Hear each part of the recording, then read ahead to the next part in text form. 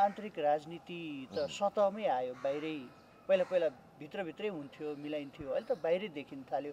के भएको? होइन यो कस्तो भन्दाखेरि अब डेमोक्रेटिक पार्टी हो होइन नेपाली कङ्ग्रेस। अब यो लोकतान्त्रिक पार्टीभित्र यो लोकतान्त्रिक अभ्यासलाई चाहिँ रोक्न थालेपछि त्यो माथि सतहमा चाहिँ आउँछ।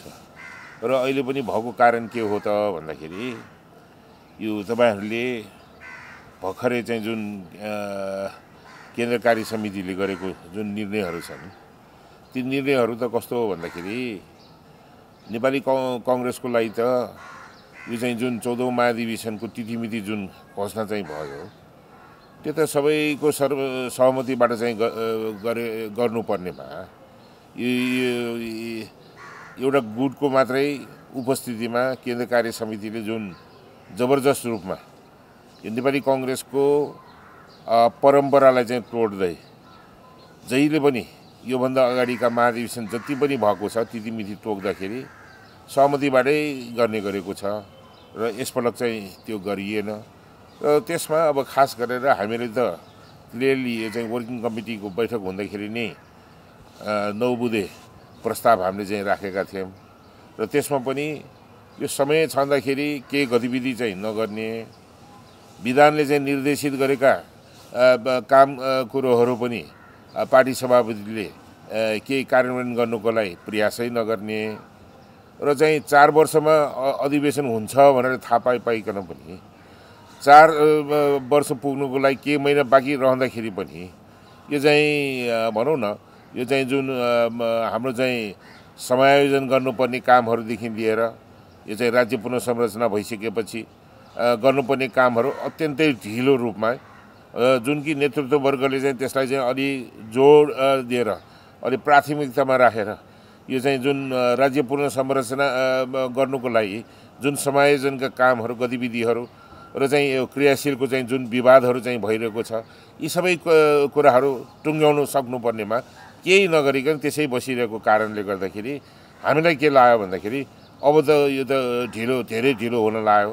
त्यसकारण यो चाहिँ चौधौँ महाधिवेशनको तिथिमिथि तोक्नको लागि पनि एउटा चाहिँ कार्यतालिका चाहिँ बनाउनु पर्यो। र कार्यतालिका के हो भन्दाखेरि अब फाउनमा त महाधिवेशन नहुने नै भइसक्यो। तर फाउनमा न नभए पनि सकेसम्म चाहिँ चाँडो यो चाहिँ प्रक्रियाहरू चाहिँ मिलाएर गर्नुपर्ने कामहरू चाहिँ गरेर महाधिवेशन यो चाहिँ मङ्सिरसम्ममा चाहिँ गरौँ भन्ने चाहिँ हाम्रो चाहिँ अ, भनाइरह्यो र यो वार्ताको क्रममा पनि हामीले चाहिँ कार्यतालिका एउ- एउटा बनाएर हामीले चाहिँ प्रस्तुत पनि गरेका थियौँ। र त्यसमा चाहिँ मङ्सिरसम्मको यो चाहिँ नेपाली कङ्ग्रेसको विधानले चाहिँ निर्देशित गरेका काम कुराहरू चाहिँ गर्नुको लागि क्यालेन्डर बनाएर हामीले चाहिँ मङ्सिरमा चाहिँ महाधिवेशन गर्ने। यो मङ्सिरमा किन गर्न लागेको त भन्दाखेरि कदम कदाचित केही त्यस्तो चाहिँ हामीले चाहिँ सोच्दै नसोचेको परिस्थिति आएर फेरि चाहिँ मङ्सिरमा नभएको खण्डमा पनि यो चाहिँ दुई तिन महिना त टाइम रहन्थ्यो नि त फाउनसम्मको लागि। एउटा भनौँ न स्पन्जिङ इफेक्ट एउटा टाइम चाहिँ राख्नुपर्छ केही भएको खण्डमा पनि फेरि चाहिँ त्यो टा- टाइम थपेकोमा भित्रमा नै महाधिवेशन होस् भन्ने चाहिँ हाम्रो चाहना हो। तर अहिले चाहिँ जुन उहाँहरूले चाहिँ राख्नुभयो त्यो फाउनमा राखेको मतलब त के हो भन्दाखेरि अब केही गरेर चाहिँ गर्न नसके अब तयारी नै अब यही ताल छ तयारी पनि राम्रो भएको छैन। ल अब चाहिँ अझ बाँकी छ भनेर अनि फेरि चाहिँ पार्टीको विधानले त दिएन। अनि संविधानमा टिकेर फेरि अर्को छ महिना थप्नुको लागि त्यो गरेको जस्तो चाहिँ यो चाहिँ भएको कारणले गर्दाखेरि हामीले यो वर्किङ क्यालेन्डरदेखि लिएर यो चाहिँ एक्टिभ मेम्बर्सहरूको चाहिँ क्रियाशील सदस्यताको चाहिँ जुन अहिले चाहिँ विवादहरू जिल्ला जिल्लामा चाहिँ भइरहेको छ। गाउँपालिका नगरपालिकामा क्षेत्रमा जुन भइरहेको छ ती त्यसलाई चाहिँ चाँडो से चाँडो एउटा चाहिँ मेकानिजम एउटा चाहिँ संयन्त्र बनाएर विशेष समय यो चाहिँ छानबिन समिति बनाएर तुरन्त अब चाहिँ समय छँदाखेरि नै गर्नु पर्यो भन्ने चाहिँ हाम्रो रहेको छ र भातृ सङ्गठनदेखि लिएर यो विभागहरूको पनि। विभागको त अब हाम्रो चाहिँ भनाइ के रह्यो भन्दाखेरि अब तेह्रौँ महाधिवेशन सकिएको दुई महिनाभित्रमा विधानले निर्देशित गरेको यो चाहिँ सबै विभागहरू चाहिँ गठन गर्नुपर्छ भन्ने चाहिँ थियो। तर अहिले चाहिँ के उहाँहरूले चाहिँ गर्नुभयो भन्दाखेरि यो चाहिँ संशोधित पार्टीको विधानले पनि अठाइसवटा विभाग भर्खरै त्यो स्थापित त्यो चाहिँ बनाउनु पर्छ भनेर भनेको छ।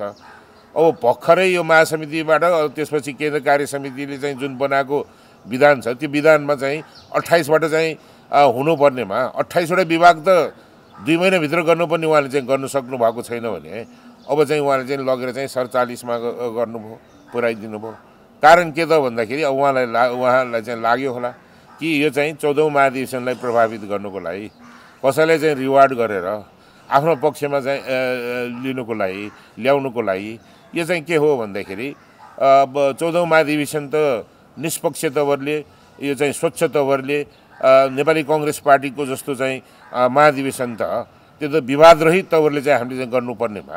यो चाहिँ कस्तो भन्दाखेरि अब विभागहरू पनि बनाउने बेलामा चाहिँ नबनाउने सकिन लागेको बेलामा यो चाहिँ महाधिवेशन हुने वर्षमा चाहिँ गर्ने त्यति मात्रै नभइकन फेरि चाहिँ उहाँहरूले चाहिँ कस्तो आनन्दले चाहिँ उहाँहरूले चाहिँ मानौँ कि यो डेमोक्रेटिक पार्टी उहाँहरूले जे गरे पनि हुने जस्तो गरिकन यो जुन धाराहरू चाहिँ जुन निलम्बन गर्यो नि क्रियाशील सदस्यताको चाहिँ जुन एउटा चाहिँ भनौँ न त्यसमा विधानले चाहिँ निर्देशित गरेका कुराहरू चाहिँ निलम्बन गर्ने।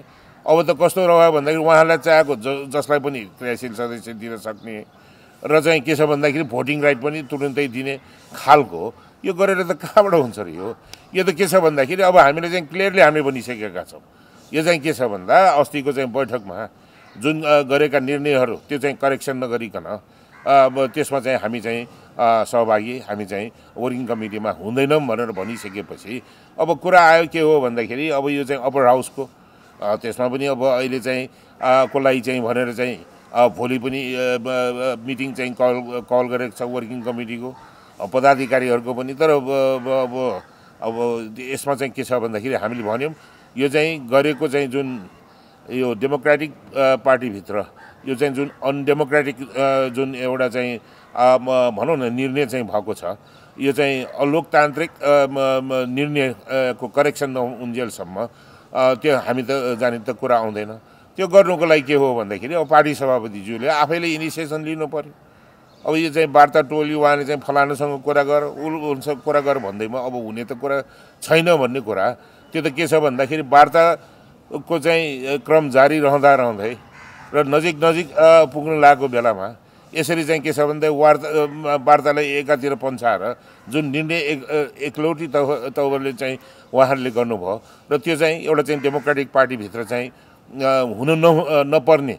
त्यस्तो चाहिँ निर्णयहरू चाहिँ जुन उहाँहरूले चाहिँ गर्नुभएको छ त्यो चाहिँ करेक्सन गराउनुको लागि अब हामी चाहिँ पार्टीभित्र चाहिँ यो चाहिँ हाम्रो यो चाहिँ यो चाहिँ राजनीतिक प्रेसर दिनको लागि हामी चाहिँ गर्नुपर्ने कामहरू यो नेपाली कङ्ग्रेस पार्टीलाई राम्रो गर्नुको लागि नेपाली कङ्ग्रेस पार्टी यो चाहिँ जुन डे डेमोक्रेसीको लागि चाहिँ लडेको भिडेको त्याग तपस्या गरेको र चाहिँ नेपालमा चाहिँ प्रजातन्त्र स्थापना गरेको पुनर्स्थापना गरेको र चाहिँ अहिलेको यो चाहिँ आधुनिक यो चाहिँ भनौँ न अहिले वर्तमान अवस्थामा र चाहिँ भविष्यलाई चाहिँ उज्जवल गर्नुको लागि एउटा सक्षम पार्टीको रूपमा नेपाली कङ्ग्रेसलाई चाहिँ रूपान्तरण गर्नुको लागि हामी त के छ भन्दाखेरि पार्टीलाई सुधार गर्नुको लागि हामीले चाहिँ अब आफ्नो चाहिँ अभियान पार्टीभित्र हामी चाहिँ यसले अलिकति यसरी हेर्दाखेरि कुन फ्याक्टरले काम गरिरहेको छ सभापतिज्यूसँग? तपाईँहरूलाई के लाग्छ?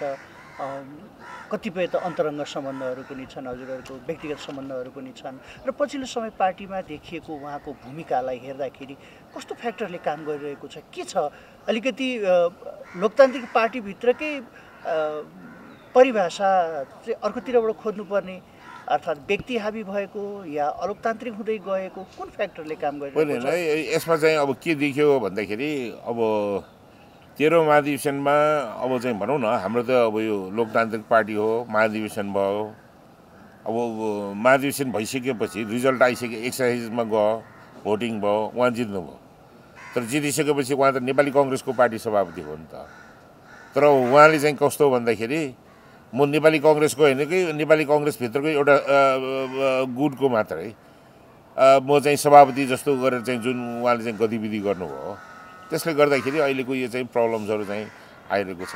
र यो अहिलेको प्रब्लमलाई समाधान गर्नुको लागि पार्टीको सभापतिले पार्टीको सभापतिको हैसियत अनुसार उहाँले चाहिँ सबैलाई चाहिँ के छ भन्दाखेरि मिलाएर यो पार्टीलाई अगाडि बढाउने र अहिलेको यो चाहिँ वर्तमान राष्ट्रिय राजनीतिमा जुन चुनौतीहरू चाहिँ देखा परेका छन् त्यसलाई चाहिँ सशक्त रूपमा त्यसलाई चाहिँ ट्याकल गर्नुको लागि नेपाली कङ्ग्रेस एक धिक्का अ, गरेर चाहिँ उहाँले त लग्नु सक्नु पऱ्यो नि त अब त कसरी सम्भव भएर किनभने समानान्तर भेलाहरू समानान्तर बैठकहरू त्यस पछाडि तल भएका इकाइहरूको पनि समानान्तर बैठक बोलाइसकेको अवस्थामा this is the indication of the separation कसरी कसरी सम्भव छ त फेरि एक ढिक्का होइन होइन म यी एउटा कुरा के छ भन्दाखेरि जब पार्टी नेपाली कङ्ग्रेस पार्टी यो चाहिँ के छ भन्दाखेरि अलोकतान्त्रिक अ, चाहिँ बाटोमा चाहिँ हिँडिरहेको देख्दाखेरि यो त ठिक भएन है। यसलाई चाहिँ ठिक ट्र्याकमा चाहिँ ल्याउनु पर्छ भनेर आवाज त हामीले चाहिँ उठाइरहेका छौँ नि।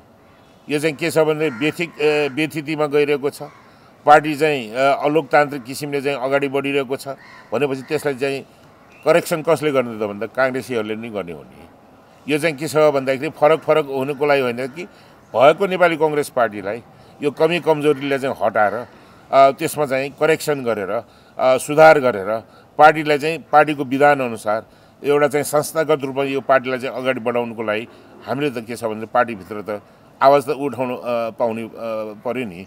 आवाज उठाउने मात्र होइन यसलाई करेक्सन गराउनुको लागि गर्नुपर्ने एउटा चाहिँ डेमोक्रेटिक एक्सर्साइज र नेपाली कङ्ग्रेस पार्टीको परिधिभित्र बसेर हामी चाहिँ के छ भन्दाखेरि यो पार्टीलाई व्यथितिमा गएको पार्टीलाई स्थितिमा ल्याउने यो चाहिँ बाटो भोलो लागेको पार्टीलाई बाटो ठिक बाटोमा चाहिँ ल्याउने मार्गमा ल्याउनुको लागि त्यो उठाउँदैमा यो पार्टीलाई नै विभाजन गर्नुको लागि उठाएको भन्ने त कुरा मिल्दैन नि।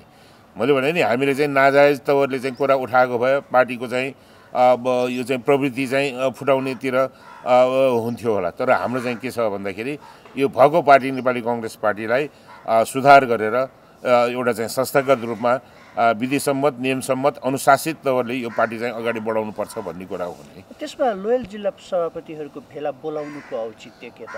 अब होइन त्यसमा त के छ भन्दाखेरि अहिले अस्तिको चाहिँ केन्द्रीय कार्य समिति जुन एकलौटी तवरले पार्टीको चाहिँ परम्परालाई र एउटा चाहिँ डेमोक्रेटिक पार्टीभित्र एउटा डिसिसनमा जाँदाखेरि जुन एउटा चाहिँ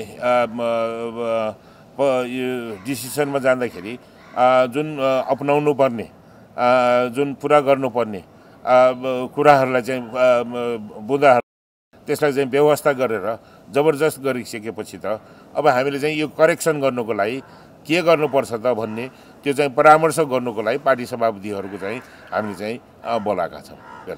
यस्तो अहिलेसम्म आउँदाखेरि केही दृष्टान्तहरू त्यो दर्जनभन्दा बढी पुग्यो होलान् भनेको निर्वाचन भइसके पछाडि अहिलेसम्म आउँदाखेरि पार्टी सभापतिले पार्टीभित्र गरेको एकलौटी निर्णयहरूले गर्दाखेरि अब अति भयो भन्ने लाग्दैन। तपाईँहरूलाई कि अब होइन लोकतान्त्रिक बाटोमा जानको लागि चाहिँ कहिलेकाहीँ अप्रिय बाटो पनि लिनुपर्छ भन्ने केही लाग्दैन। किनभने आवाजहरू अनलाइनमै होस् या बाहिर अपुष्ट नै होस् अब सिधै पार्टी सभापति हटाउ मुभमेन्ट आन्तरिक रूपमा चलाउनुपर्छ भनेर आउन थालिसकेको छ। यसमा के छ तपाईँको टिप्पणी? होइन अब चाहिँ अब चौधौँ महाधिवेशन त आउँदैछ नि त। महाधिवेशनमा त नेतृत्व परिवर्तनको पनि त एउटा चाहिँ ठुलो एउटा चाहिँ के छ भन्दाखेरि अवसर हो नि त। मौका हो नि त।